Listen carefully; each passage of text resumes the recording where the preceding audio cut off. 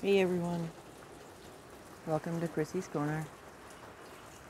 It's a rainy Sunday, sitting out on my back porch just watching it rain. Every now and then get a big loud thunder, starts downpouring.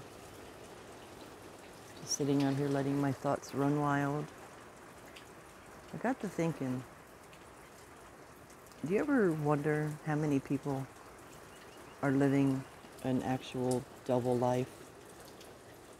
I'm not talking about um, with those stories you hear about, you know, the husband has a couple of wives and he's running back and forth and two homes and you know things like that. I'm not. I'm talking about like internet. I mean, obviously, the majority of people who are online are not who they are in real life.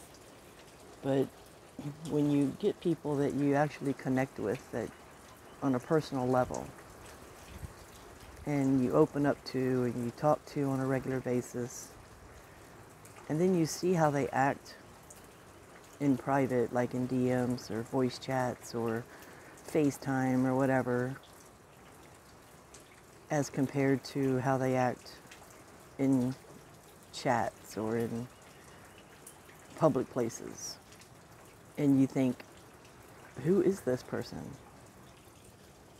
It's like they live in a double life.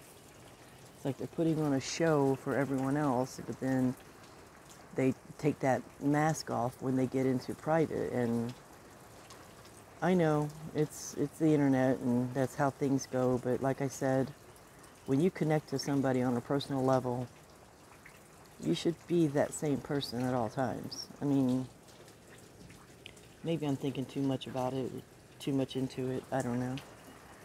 It's just a crazy rainy day thought, just going through my mind, thinking about, you know, the friends I did make on the internet or in my personal life, and just how different they act in certain situations, and it's it's mind-boggling. You know, I want to be there for everyone, and I, I know I can't, so I try to though. And sometimes you get caught up in some stupid bullshit and it, it's everybody just changes and it's sad. Okay, I'm done rambling. I just wanted to check in and hope everyone's having a great day. I'm going to go back to my rain watching and music listening. Talk to y'all later. Bye.